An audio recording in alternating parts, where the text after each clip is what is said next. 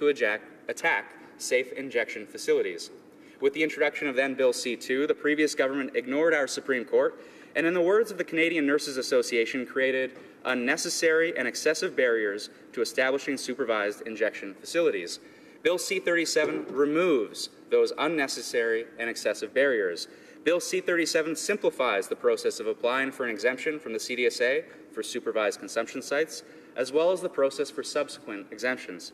Specifically, Bill C 37 repla- replaces the excessive 26 criteria imposed by the Conservatives with the five factors I've reiterated as set out by our Supreme Court.